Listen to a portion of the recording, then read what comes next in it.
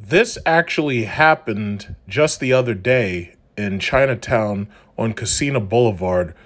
And uh, this video is on uh, YouTube where you can watch the entire video. A guy attacked this car and then this car rammed him through the damn bakery. And I went to visit the place. Okay, so they've got some stuff blocking me from actually seeing it, so I'm going to get out. But as you can see, that's the uh, that's the school right there. Or then that's the uh, silver building. So the place is actually right here. I just can't see. Oh, there's the dumpling house, and that's the bakery. Yeah, and that's the parking meter. So the guy, the guy did a turn right here, and he hit that bakery, and he crashed right through it. So they, they had to, uh, they had to, uh, what is it called? They had to uh, put down the metal gates. But uh, you'll notice that in that video, there's where's the watermelon stands right there. Yeah, so that shit is crazy. How you gonna smash through the damn bakery like that? Over a parking spot, no less. And as you can see, parking here is tight. So basically, this right here is supposed to be the future of um, automobiles right here. Yeah, it looks absolutely ridiculous, but um, there's an Oregon-based company that it's called Arximoto. Arc Arximoto, Archimoto. I don't know how you pronounce it. I haven't heard it pronounced, but it really probably doesn't matter because these things look absolutely ridiculous. But these are electric vehicles that supposedly the New World Order has planned for making deliveries to old women's houses for like pizza and uh, it looks like flowers and whatnot. And um, this is actually kind of depressing to watch. I mean, you mean to tell me that in the future we're going to have like single person, single occupancy vehicles with like small cargo areas? It doesn't even make sense. It's like you could buy like a Tesla Model Y and you could fit so much more stuff in there, but uh, I don't know how much these things are supposed to cost. In fact, let's find out how much these stupid things cost. Let's see. Due today, $100. You're, you're going to take $100 from me and I don't even know, I don't know anything about this thing. How much is it supposed to be? It says fully refundable at any time for any reason. 173 city mile per gallon, huh? Uh, I'm not feeling it. I'm not feeling it. First of all, I understand that you want to use these things as short range delivery vehicles that you recharge overnight. Okay, I understand that. But the thing about it is, I don't feel safe riding around in something like that. I mean, it doesn't have doors. I mean, what happens if a Jeep Grand Cherokee hits me or something? It's like that thing would get totaled. And, and I'm supposed to trust that thing? I don't know. I, I just, I'm not feeling it. I'm not feeling it. But the point of the video that I'm making right now is to talk about electric vehicle stocks. So in my portfolio, I'm up considerably on Kandi, NIO, and as you probably know, if you got into Tesla, Tesla was above, I think it was like five something today. Uh, it just retreated recently to 499, but I think that's after hours trading, so that could go either way before the Dow even opens back up in the morning. But um, this company, Arcimoto, is uh, stock tag FUV. So this is them right here, FUV, Arcimoto. Now, as you can see, their stock has actually increased 40%. Let's go back a year. Uh, used to be a dollar sixty-nine, and it gradually now has increased to $16. So here's the thing. I believe that it's possible this stock is going to take a dip because I, I, can't imagine that this stock is going to uh, rapidly increase very quickly. And the reason why is because right now nobody's talking about it except me. I mean, have you ever heard, have you heard anybody else talking about some damn FUV? I don't think so. Now, here's the thing. It's relatively cheap at $16, even though that is a little bit more expensive. I, I, would rather try to get it under 10 if possible. So this way I could buy 100 shares to start, spend maybe about $1,000 and get it under $10 per share. Um, I, I, like to start with $100 when you're dealing with an expensive share like this. And in my opinion, anything that's over $10 is expensive. But my thing is, I, I think this might be a stock that you might want to keep a watch on. Uh, if you're one of those heavy rollers who's got plenty of money to spare and you want to, you know, put down a thousand bucks or whatever, buy a hundred shares of this, you could, but I, I think it may decrease, it may decline because the thing about it is, again, nobody's really talking about it. Now, the problem that I see is Tesla has been dragging a lot of stocks up, especially American stocks, specifically Workhorse and uh, what was the other one? Nikola Motors. Now, the problem with Nikola Motors was fraud. So, what ended up happening was they had gone up to damn near $100 per share and quickly dropped back down. Now, the problem with fraud is fraud is something that you can never actually be 100% certain that it's going to happen or not going to happen. Um, so yeah, this is Nikola and right here in Wikipedia, we can go and we can see the fraud allegations because uh, Wikipedia is the easiest place where you can find out about it. So it says uh, on uh, September 10, 2020, uh, short seller uh, Hindenburg Research released a report accusing Nikola of being an intricate fraud, perpetuated largely by Milton. Further verification by Financial Times confirmed the report's claim regarding a showcase Nikola One rolling down a slope with no onboard propulsion and instead by using the force of gravity. God damn. So basically what they did is to make it look like their car actually worked, these bastards put this thing on a slope and they pretended that the thing actually moved when it just turned out that the guy just probably took his foot off the brake and it just coasted down the slope. That's a damn shame. Now, here's the thing though. This is an American company, along with uh, who else? Uh, Workhorse, right? Now, Workhorse, I think, is about $22 a share right now. The thing about American companies is American companies, fraud like this can actually happen. You see, in China, if you do that level of fraud, chances are you're going to get executed. See, a lot of people don't understand Chinese law. Well, over in China, if you are a drug dealer, if you're a gun dealer, if you are a fraudster, if you're an embezzler, if you steal money from the government, uh, basically, what the Chinese police do is they take you out. Well, first of all, you do get a trial, which you're pretty much guaranteed to lose.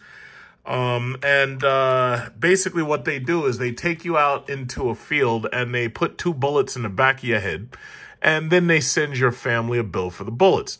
And that's pretty much the reason why I actually trust Chinese companies a little bit more because I know that the chances for fraud are a lot lower. In America, if you commit fraud, like for instance, there's a rapper who was stealing PPE money. wait, wait, what was it? Wait, rapper steals uh, what, what was it called? Um, PP, PPE money. And, uh, this kid, this kid was, uh, yeah, PPP money. I'm sorry, Morris Fade. Yeah. So there's a rapper who decided that what he was going to do was he was going to steal PPP money by claiming a massive, massive amounts of unemployment fraud and he took the money and I believe he bought diamonds and jewelry and PlayStation 5 and, and race cars, Lamborghinis. It's always Lamborghinis, never fails. Um, Lamborghinis get stolen in PPP fraud a lot for some, well, because they're cool, you know? Um, so, and then there was a guy who, who bought a Tesla with his money. Guy allegedly spent all this money buying a goddamn Tesla. Now, had this been China, I wouldn't even have to be talking about these cases of fraud because the Chinese police would have executed these people already. They're, they would have had a two hour trial, they would have been found guilty, and then they would have had two bullets put in the back of their head. And uh, I believe their organs would have been sold off to the highest donor. So in America, fraud is rampant where people actually believe that they can just steal from the government and whatnot and not have to worry about it. I mean, yeah, you might go to jail, you might not. You might not even get caught. But um, when it comes to trusting a business, I actually trust a lot of Chinese corporations a little bit more. So um, that's just how I feel about it. Because the thing about it is, it's just so much less likely. Like for instance, when we had all those, uh, you know, those frauds uh, committed to people who were buying homes in 2008, and uh, people were having their money flat out stolen, and there were people lying on applications and whatnot. Well, if you'd done that same thing in China, well, basically the Chinese police would have uh, given you a trial. They would have taken you out into a field and they would put two bullets in the back of your head. So fraud is less likely to happen there. Let's just leave it at that. Fraud is a lot less likely to happen when the odds of you being taken out into a field and having two bullets put in the back of your head are high, most people don't want to commit fraud. I don't know why. I, I, guess they feel they have too much to lose or something. Or, or even right now, you know how we just had an election and nobody trusts it because of voter fraud, and they believe that um, you know nobody on either side trusted. First of all, we know Trump is doing his best to steal enough states to possibly have a chance at winning, despite the fact that he's like what 40 votes or 47 votes beyond below the threshold. And then you've got him trying to steal those votes from Biden and everything. And then they're alleging that there were people committing massive amounts of voter fraud across several states well, had this been China um, and that had been proven, well, basically anybody who was uh, committing voter fraud would have been taken out into a field and had two bullets put in the back of their head. So chances are they probably wouldn't have wanted to commit voter fraud. Chances are. I'm just guessing. I'm just guessing. There are a lot of people who kind of don't understand the Chinese market, mostly because they've never actually lived in China like I have. And what I remember about the Chinese market was that it was filled with a lot of boring, small four-cylinder econo boxes. Electric vehicles are giving the Chinese auto buyer a chance to bypass those horrible little econo boxes and get themselves a decent, fast accelerating, high torque electric econo box. And the thing about the Chinese market, now I was looking, I was reading back news. Now this was May 31st. Bloomberg was talking about how China was trying to salvage its electric car uh, industry. But you think about the date, May 31st. This was uh, right after March when we had that crash. Uh, March 18th, we had that crash. So basically, all stocks were pretty much down. What ultimately brought all stocks up again was the fact that Tesla started rallying because Tesla was starting to deliver their Model Ys a little bit early. Now, Tesla showing you what EV could be using the Model 3 and the Model Y and being able to give you an electric vehicle half the price of the overpriced Model S and the overpriced Model X. Well, they've basically dragged all of the other EV companies upwards with them. Now, I always talk about how when Tesla was just, what was it? It was like less than $30 per share. I was able to buy a large amount of Tesla. And then recently I was able to sell out of it above a $1,000 per share. So in my mind, I'm thinking, you know what? Right now, most of these damn companies, these EV companies, in these other countries, especially a country like China. These country, these countries uh, around China, China basically, regardless what you hear from the U.S. government and regardless what you hear from Fox News, China basically already controls Southeast Asia and Asia. China is going to be selling these cars all over Thailand, Philippines, South Korea. They're going to be selling these cars all over. That's the bottom line. Now, I know South Korea is not going to be challenged as much because they have uh, Hyundai and they have Kia. And I also know Japan is never going to let China really challenge them inside Japan. They're going to have their own Toyotas and Nissans and Acuras and Altimas and all that nonsense.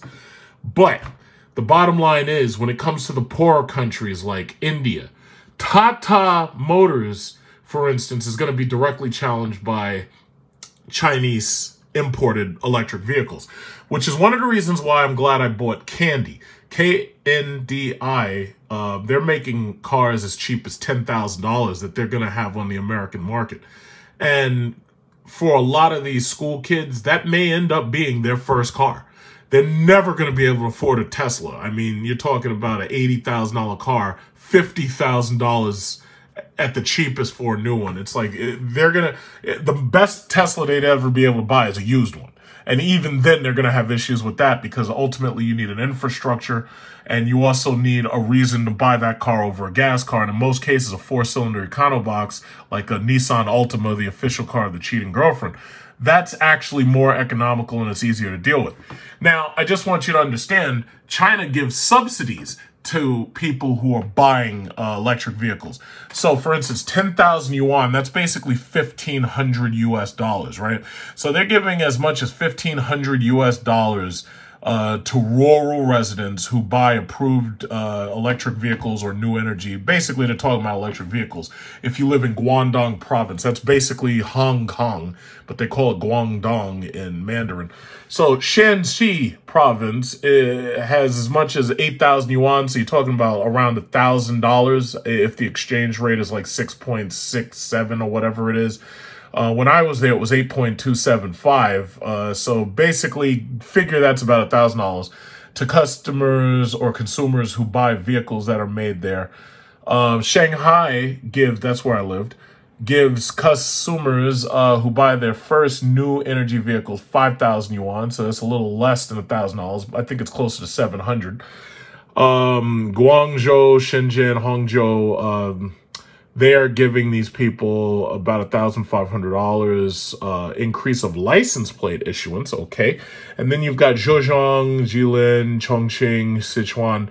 They're giving out five thousand yuan in order to support trading in old vehicles for new ones. You remember what we called that? We called it cash for clunkers when we did that. And in the long run, I actually, you know, a lot of people are like, oh, yeah, the government shouldn't be giving out money to do stuff like that. Well, in the long run, it's actually kind of better because not only does it help you know, keep our air cleaner, but it also keeps these horrible old vehicles off the roads. Because, you know, a lot of these old people, they'll drive these cars into the ground, even if those things are dangerous. Like, I hate being around certain cars because they don't have the technology I have. Like, I have front and rear bumper sensors. They don't have that stuff. So that means if they back into your car, they damage your paint job and this, that, and other. Meanwhile, if they had bumper sensors, you know, they'd be less likely to back into your car because then they'd be aware of the damage that they could cause their own car. But if they've got an old car that's made mostly of metal, they'll back right into you. They care less and they'll keep on moving. They may not even know they hit you. And then you've got these cars that are constantly breaking down. Well, think about it. If a car breaks down, it causes traffic to pile up. That causes all of us to be more upset and it causes us to be less efficient. So, in the long run, you know, a cash for clunker style program, it's like I'm down with it. It's like whatever. I mean, it's better than blowing holes in Iraq and Iran, right? and and causing misery on a lot of people who just going to turn around and be terrorists and come try to blow us up. So anyway, um, those governments over there are giving a lot of incentives to their people in order to buy electric vehicles. Now the problem is Tesla's too expensive. NIO, Xpeng, and Li Autos are the ones that are being focused on in the Chinese EV groups simply because they are kind of making pretty much the best looking cars. I mean, unfortunately, I go here and I got this this this ugly thing, this deliverator. And and they very well they they might prove me wrong. They might end up selling a lot of these things and they I don't know how, but they might end up selling a lot of these things and getting a lot of people to be Uber deliverers or, you know, deliver Amazon packages or something. I don't know. But they, they very well might prove me wrong and, and they might become a huge, I don't know. They might, I don't know. Cause that lady seems to like them. But, um, the thing about it is when you look when you expect to buy a car you want a car that looks like a car you don't want some crazy contraption from total recall or bad sci-fi movie and for the most part, they seem to be styling these things conservatively enough where your average buyer would buy one. Like I'm looking at the front of this car, it kind of looks like a McLaren. it kind of looks like somebody took the front of a McLaren 720. Kind of. I don't know. I don't know why it looks like that to me. But they've also got a lot of other ones and they're trying to make them luxurious because you know the inside of a Tesla right now ain't shit. I, I, I've knocked on Tesla a lot. But they're trying to make these things look luxurious. It kind of looks like a Ford product to me. This looks exactly like how that new Mustang's going to look, the Ford Mustang EV. So, uh, NIO's doing their thing. And then you've got Xpeng. Most of these damn things are like clones of each other. But uh, for the most part, they look decent. Like, they look at this. The inside of this looks pretty good. You can do this research on your own. But uh, they look pretty decent. I mean, I wouldn't feel bad being seen in that right there. You know, unfortunately, as soon as everybody finds out it's like made in China, it's like some people are going to knock on me. But um, I have to say, I mean, they don't look bad. They do. They look basically like higher end versions of Teslas. In fact, you can see a lot of the parts that they've copied right off of Tesla. Like, for instance, the uh, rear view mirror in the Tesla Model X has like a very simple magnetic clip. So basically, what they've done is they've copied a lot of the design uh, cues, like obviously the big touchscreen. But see, most people want to have more buttons. So what they've done is they were like, you know what? Tesla keeps on making these cars as cheap as possible. They've taken out your control stalks. They've taken out as many buttons as they can. But they're like, we're not going to take out the buttons. That's just stupid. And I agree with them. Tesla shouldn't have taken out all those buttons. There's certain buttons that I expect to see in a car. So the Chinese automakers are going to make better Teslas. We'll say it like that. They're going to make better Teslas. And the only thing that Tesla is going to really have going for it is the fact that it's got the brand name Tesla that everybody by now recognizes. The issue ultimately is going to come down to what kind of interior do you want to see in a car. Now, when you're talking about lots of these uh, young people who have shit credit and they can't afford a Tesla at all, they're going to end up in a lot of these cars, especially the Kandi. Like the Kandis look terrible in my opinion. I'm sorry. They really do. Now, I'm glad the stock is going up for me. I'm glad I'm making money on the stock, but look at these things. I wouldn't be caught dead in one of I would rather put a bullet in my own head than have to drive around in one of those things. I'm sorry. Look, look at that thing. That thing doesn't even look as, it looks like a Tata Nano on steroids. I'm sorry. I'm so, I'm so sorry. I, I, I can't, I can't, I can't. But bottom line is small foreign people in small countries that have access to electric plugs, they're going to buy them. So, uh, you know, people just like that, they're going to buy them. They're going to buy them. Indonesia, Southeast Asia, all the islands of uh, Oceania, those people are going to buy them, you know? So my thing is, it's like, you know, instead of me hating, let me just buy the stock and ride the stock to victory. That's what I'm gonna do. Just buy, just ride it to victory. So I already bought my Kandi. I already bought my NIO, I already bought uh, Xpeng, I already bought Li Autos. And the thing about it is, they are up. So these are my weed stocks. Let me get past this. I'm sorry about the uh, blur of the uh, camera because the problem is uh, my monitor is very bright and uh, it's a gaming monitor. So ultimately my uh, phone takes time to figure out what's happening because it's like, why the hell are you staring into the sun? But anyway, Li Autos 3644. If you had bought it at its low, its low for 52 weeks was actually, what is it, 3481? Is that, let me just double check, make sure that's not a mistake. Um, let's see, over one year, oh yeah, well, it's actually been, it's been pretty high. Let me see, Li Auto. Li Auto. But uh, I do know the, the, the important thing to remember is that Li Auto is being talked about. That's the important thing to remember. So this is the performance over the last five years. As you can see, it's basically nothing but up. You got to remember, with the Chinese, there's more Chinese teenagers than there are Americans. That means that there's basically more than 300 million Chinese teenagers than there are America. We have a population around like 330 million tops. So ultimately, their buying power is so much higher. The potential there to buy is higher. Don't let Fox News lie to you about how much poverty is there. Yeah, they've got a lot of poverty, but over the last 20 years, they've lifted a hell of a lot of people out of poverty. I believe it was more than 450 million. Meanwhile, in America, we seem to be going deeper and deeper into poverty and debt, by the way. So, um, you know, be careful with the propaganda. I know a lot of people hate to hear me talk about it because, you know, I actually live there. So I've seen, you know, the reality, you know, but uh, a lot of the people who say this shit on Fox News, they've never actually actually been there. You know, they don't know the language. They don't know how to talk to the people. They don't know anybody there. They just say stuff. You know, so my thing is, it's like I, I, like to be real about what I'm talking about instead of just, you know, repeating talking points from Fox News.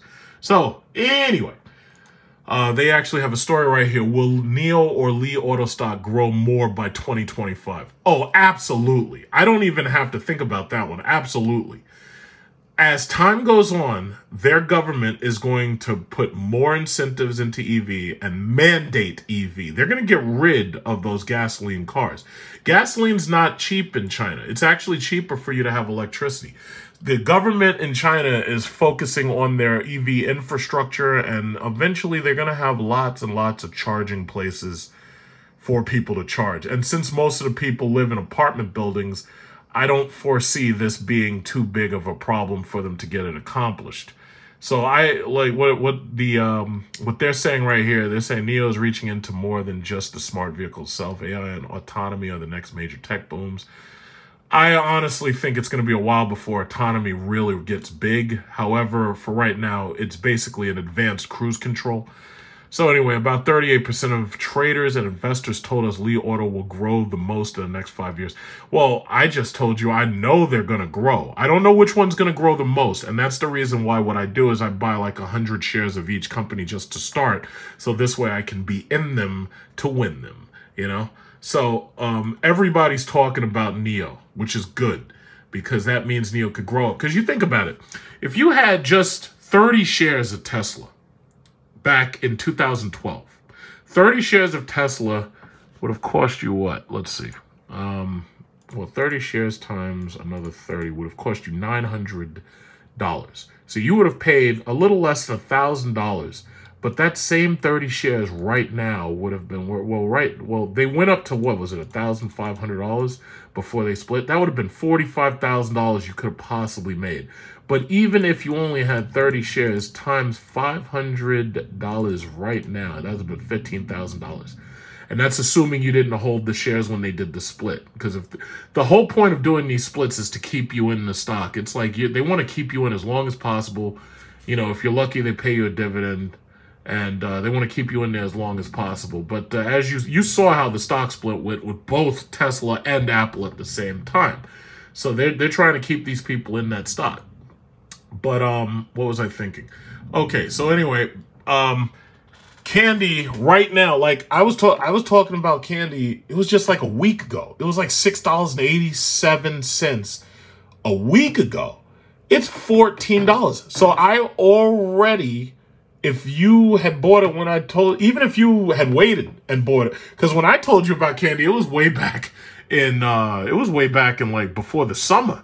It's like you should have more than doubled your money at this point. You, some of you might have even quadrupled your money at this point. I know if you had bought NIO, you probably bought it around 350 when I was trying to tell you about NIO, and uh, you're up to $48.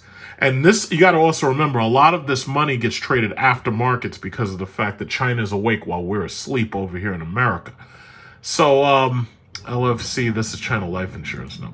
Okay. So, NIO, Kandi, and XPEV. Um, let me see what Tesla's doing after hours. What are they doing? Tesla is still at 499. It was like 500 and something early. Yeah, $508, man. It went up to $508 and uh, you know i start getting emails and text messages from people who i you know have told about getting into these things. So what i'm going to do is for my tech stocks i'm going to add um, by the way before anybody asks i use td ameritrade because I, I, keep getting asked that. It drives me nuts. Um, okay. I'm going to add uh, luv I wait or is it lvu stock? I forget what these guys are uh what, what is this? The deliberator this nonsense. Archimoto. Archimoto. Let me just uh, see what their uh, stock symbol is. Archimoto. Is called fuv so what i'm going to do is i'm going to add that one into my tech chart. Okay so you just add a stock in there. Fuv is archimoto common stock. 16 what i'm going to do what I because uh, what I give you uh stop stop stops stock symbols. I don't know what you use to trade CCIG. Um, that's something else. Merger Corp. Okay, no, no, forget that one. Okay, so anyway, when I give you um symbols, I don't know what trading platform you're using, but this is how mine works. So basically, I can buy and sell right out of my watch list. Um, okay, so that makes things easier for me. But uh, yeah, I mean, tech is still doing very well. Tech is going to continue to do very well. As you can see, Apple's inching up. It's 118 right now. It went up to 137, but you had a lot of short sellers sell out of it. Um, as you know, I always I keep saying the same thing. I told you to buy AMD and Logitech back before fifty dollars. So, you know, if you bought it, you're up 33 on one and 35 on the other right now. I already know AMD is going to keep on moving. AMD, by this time next year, AMD is going to be way past $100. I already know it.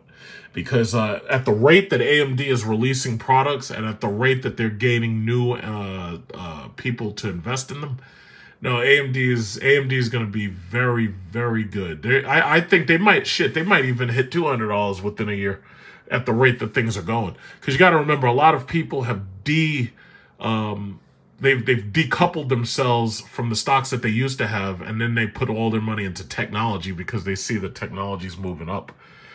Um, oil is slowly moving up and everything, but um, we still got some time to go. The banks, it's really funny because I actually shorted some bank stock, and as soon as I decided to short them, all of a sudden they decided to go up a little. Wells Fargo hitting $26 and Bank of America hitting $26. And I shorted some of those stocks because I wanted to afford something else.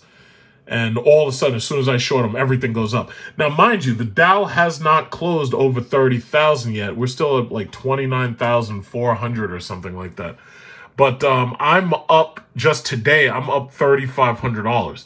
So I'm actually waiting to see how long it's going to take for the Dow to actually close in the $30,000 range. But uh, very, very, very interesting. These are all the uh, smaller oil and the oil mining and whatnot stocks that I had. But I told you about that back in the video. I am an oil man. That was a long time ago. Right now, I'm not focusing on oil because, again, the economy, they're talking about shutting down again airlines aren't moving, cruise lines aren't moving. They account for about 40 something percent of the oil being used. So until the oil uh the until the oil that they use for the airlines and the cruise lines are being used again, then you're not going to see those stocks come back and oh shit, Tesla just took a shit. Tesla went down 499 to 493. Oosh. Just that quick. I was just talking about it. all of a sudden they down 499 493 damn. Oh boy. but hey, listen, you already know what it is with Tesla. Tesla is a roller coaster. Just hope that, you know, just hope that they keep doing what they're doing. They bring out that Cybertruck, get those people into these electric cars so we can make some money off them. But uh, basically, that's what I was focused on. Now, I know Jim Cramer's been uh, talking about Workhorse, but see, Workhorse is still down from their $30.99 high for the last 52 weeks. I'm not saying that they're not bet good. I'm just saying it's like hopefully you already bought into them because the thing about it is once these things go past twenty dollars, I, I consider them a little too expensive to bother getting into. Because here's the thing: if you're going to day trade, first of all, you got to understand. Um, I believe it's ninety percent of day traders don't earn enough money to equal like forty thousand dollars annually. So the bottom line is most day traders aren't really making much money. I'm not a day trader. I actually invest, I hold for a long time, and then I trade later. Um, most day traders really aren't making a lot of money. Now, the YouTubers you see popping up claiming to be rich day traders, most of them are lying, if not all of them. The vast majority of these guys are lying. Um, and they've used other money and other means to get themselves uh, their YouTube channels, at which point that they're bragging about how much money they're making. But for the most part, that's usually not true. Statistics have shown that most day traders aren't making a lot of money. If you're buying into the market and you're trying to flip money, then that would, you know, if you're doing it on a daily basis, then that would make you a day trader. Yeah, you could definitely flip some money, but the question is whether or not you can make enough to live off of it. And chances are the answer is no. So the bottom line is, um, a lot of the stocks that I try to buy into are things that I know I can hold for a long period of time and sell later at a, you know, when once the buying frenzies come back. Because you got to remember, right now, this market is basically depressed. Most people aren't trying to go out and buy anything right now. The smart ones, anyway. Stupid people are going out there and spending money left and right on PlayStation 5s and um, jewelry and um, and stuff like that, you know. So my thing is, it's like right now, this is a depressed market. It's like most people really aren't spending the money. They're not tra- obviously they're not traveling, you know. So the market just isn't where it should be. It's like all of the real strength in the Dow is in a handful of tech companies that are all worth a trillion dollars. Furthermore, some people didn't understand. They asked me, "Well, why is it that Tesla started going up so quick?" Well, Tesla was added to the S&P 500. So that means that now Tesla is a part of the index stock. So what that but basically means is that anybody who wants to invest in Tesla, instead of buying Tesla shares directly, you can invest in the S&P and you can have a small piece of Tesla added on to all the other stocks that you have sandwiched in that index fund. Um, people who buy index stocks for the Dow, they have the exact same advantage. So my thing is, if you really want to invest over a long term, especially if you're a young person and you're new to the game, you're not old.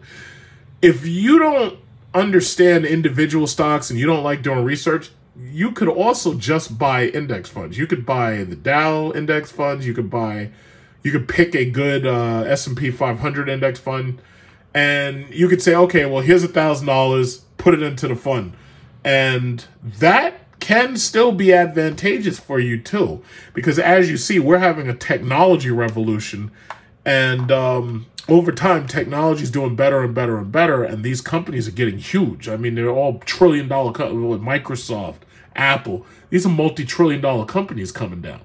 So my thing is, um, a piece of advice if you really don't want to do the individuals, you can do the index funds. So just keep that in mind. But um, as for me, I do index, but I also do individuals. And what it is, I'll, I'll tell you how I do it. When I get my tax returns um, at the end of the year, like for instance, I'll show you one. This is my property tax. My property tax and I get two of these, and when they come, I'm just going to show you the little bottom of it. Oh, I don't even mind showing you how much it is. This is my property tax check. Can you see that? Oh, you can't see that. it's dark. So when I do my taxes at the end of the year, um, when I do my tax, can you see that?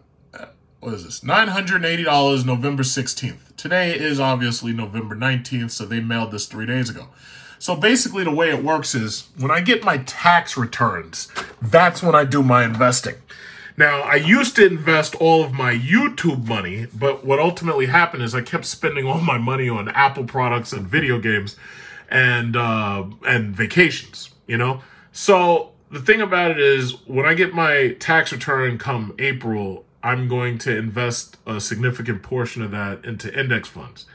But during the year, what I do is in, instead of investing into index funds during the year, I buy individual stocks. Now, that changes here and there because every now and then something will pop up that I'll suddenly want to buy and I'll just buy into it. And um, that's just how I work. Now, a lot of people don't do it like that or they, you know, they can't do it the exact same way I do it, which is fine. Everybody has their own thing. But um, that's just how I do it. So I'm supposed to get another one of these tax refund checks. This is property taxes, and the reason why is because I own two houses. So I'm supposed to get another one of these, and then on top of that, I'm ready for February for us to do our taxes so I can get my money back from Uncle Sam after uh, President Biden and uh, Kamala Harris swear in. And um, and that's that. And then I can do some more investing. But that's just me. That's just how I operate. Everybody else does their thing differently. Some people invest every single week, some people invest every single other week. I like to do it with bulk amounts of money because it's easier for me to just say, yeah, I want to buy this, that, this, and that, and I don't have to wait and everything. So that's just how I do it. So anyway, hope you uh, enjoyed the video. Um, um, I think that's about it of free advice.